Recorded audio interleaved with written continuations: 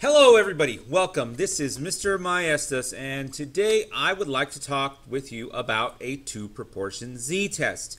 Now, in this video, I'm just going to go over one example of a two proportion z test and maybe talk about a few things that are kind of tricky with a, z, a two prop z test that are different than a one prop z test. So, here is my uh, problem here. In a recent poll of 24 randomly selected males and 47 randomly selected females, 14 males said they watched the Super Bowl for the football game and only 11 from females said that they watched the Super Bowl for the football game. Um, this is the exact same problem as I had in my previous video, which was about confidence intervals. So, different question this time. Does this provide evidence that the male students tend to watch the Super Bowl really for the football game more than the female students do? So, what, what this comes down to is, is the percent of males that watch the Super Bowl for the football game greater than the percent of females that watch the Super Bowl for the football game. So that is what it comes down to. That is our alternate hypothesis. So, you guys were like, why did he pause there for a second? It's okay, doesn't matter. Okay, here we go. Here is our null. So, what is our null hypothesis? Our null hypothesis is that they were equal. If there was no change, if there's no difference between males and females, we would expect that the proportion of males that watch the Super Bowl for the football game is equal to the proportion of females that watch the football game for the football game. And our alternative hypothesis would be that the proportion of males is greater than the proportion of females. Now, this way to write it is, is intuitive, I think. They're either equal or one is greater than the other. Now, it could be possible if you're doing it, it could be less than, or it could be not equal. In this case, it's greater than because I want to know if they, in fact, watch the football game for the football game more than the female students. Now, alternatively, if you look at other books, these are written different ways. They could also be written as PM minus PF is equal to zero. There is no difference. And this is kind of important because we'll get back to that in a little bit when we do our mechanics and we want to know the z-score. We can also write this as PM minus PF e uh, oops, equals is greater than zero. Now remember, we were uh, when we did our confidence intervals, we were talking about the difference in proportions. So in this case, it would be appropriate for me to write them as the difference is equal to zero. If the difference is equal to theirs, there is no difference. If the difference is greater than zero, then that means the males are greater than the females, the percentage, proportion, okay? So in order to do this hypothesis test, we're going to state the same conditions as we did for our confidence interval. And when we did that, these are the conditions that we came up with. First, we have a randomly selected students in each group, so both groups have to be randomly selected, stated in the problem. Number two, each group must be less than 10% of the population. So 24 is less than 10% of all male students. 47 is less than 10% of all female students. We're, you know, we're assuming that there are more than 240 and 470 uh, female and male students. Both groups must be independent of one another. Independ, independ. I don't know what that means. Independent. Okay, let's write independent of the other group. Basically, we can't have anybody in the same group. Okay, um, in this case, it's easy: males, females. So the fourth one is also very important. You must show that there are a number of successes and failures that are greater than or equal to 10. So um, that the sample sizes are large enough.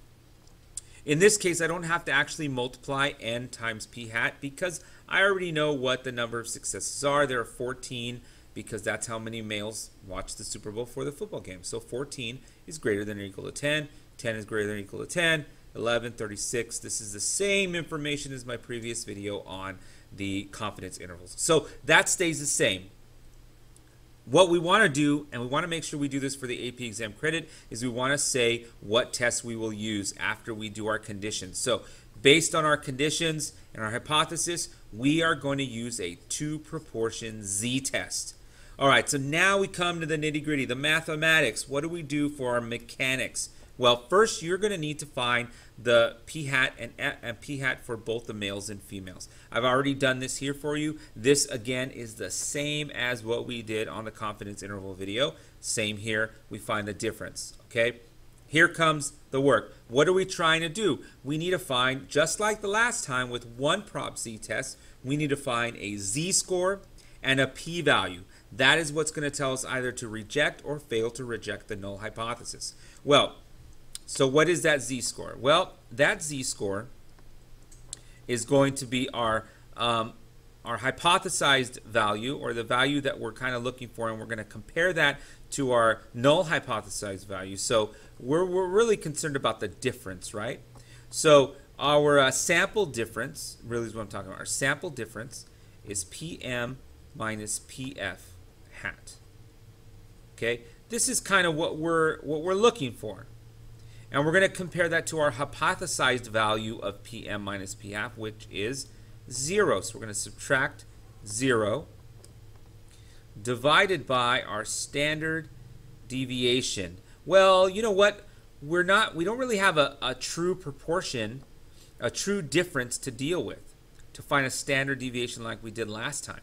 So the best thing we have is our, uh, our sample. So this is going to be what we call the standard error of P, um, and it's, it's a C, and I'll talk about what the C is. P hat C minus P, uh, well, you know what I'm going to do? Just going to do it like this, okay? And I'll tell you what C me, what is right now. Basically, what this standard error is, you know, we have this null hypothesis, which is which is what we base everything on while we're doing our hypothesis test. We're basing, remember, innocent until proven guilty. So we're assuming that the null is true. So our standard error has to be based on our null being true. Well, if our null were true, then the there would be no difference in uh, proportions of females that male and males that watch the Super Bowl for the football game. Well, there clearly is, you know, a bit of a difference. And when we do our standard error, we want to try to get as close as possible to, to, to, to you know, maybe saying that this was true. Um, and the way we do that is we used what's called a pooled standard error. Okay, so what that basically means is it's really not that hard, guys. This is what we're going to do. We have to first find uh, this, the pooled proportion. All right, so here's how we do it. Here's how we do the pooled proportion. And the pooled proportion is denoted by P hat C.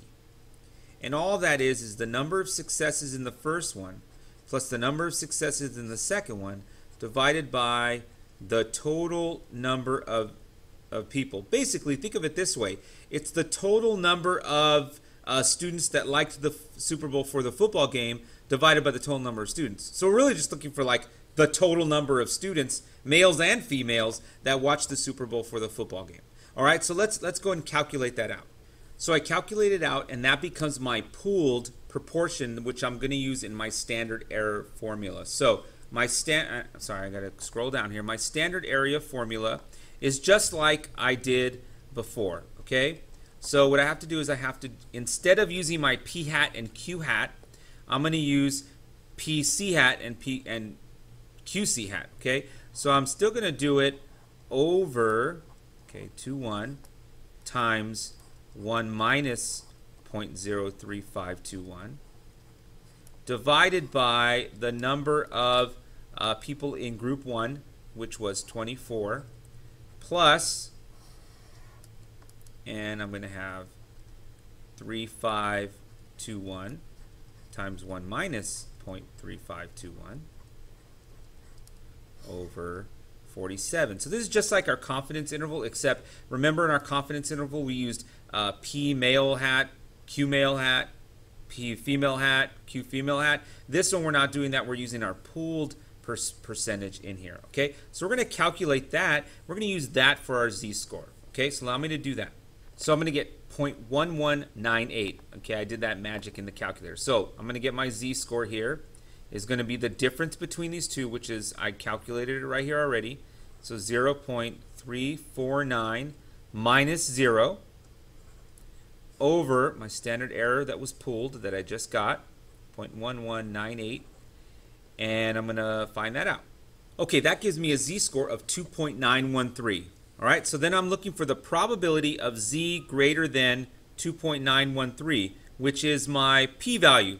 So I'm looking for my p-value, so I'm going to normal CDF that bad boy, and I'm going to get 0.00179 for my p-value. Okay, that's a pretty small p-value. So what this is saying is that um, this is the, the probability that I get that sample that I just did um, if, in fact, my null hypothesis was true, which is pretty small, right? So let's. I'm going to just double check this in my calculator. I'm going to use a TI Nspire real quick. So if you want to go to your TI Nspire, um, here's my TI Nspire, and I'm going to do menu, oops, statistics, stat test, and I'm going to do a two prop z test. Okay, that's what we're doing, a two prop z test. And I'm going to put in all the information that I have, the number of successes for my males and the number of successes for my females. 14 out of 24 men, uh, male students, and 11 out of 47 female students. Now, my alternative hypothesis was that my males were greater than my female proportion, so P1 greater than P2, and I hit OK, and all kinds of stuff comes out of this. So let's see, we have Z value of 2.914. What did I have? Z value of 2.91. Ooh, right on. Well, you know, this, but that's pretty close. Close enough, right? Um, and I have a p-value of 0.00177. And is that what I had? I did, in fact, have about that. So uh, we're pretty good. It says I'm fine. So last thing I have to do is state my conclusion. Here we go, guys. Conclusion. And I like to just type out my conclusion. It's uh, a little, little nicer to do that. So what is my conclusion? What am I stating? Well, you know what? It's exactly the same as my one prop z test. I'm basing it on my p-value. So since my p-value of 0.00179 is much smaller than any al basic alpha level, you know, we'll really go with 0.05. That's what we normally go with. Okay, so my p-value is so small, I will reject the null hypothesis.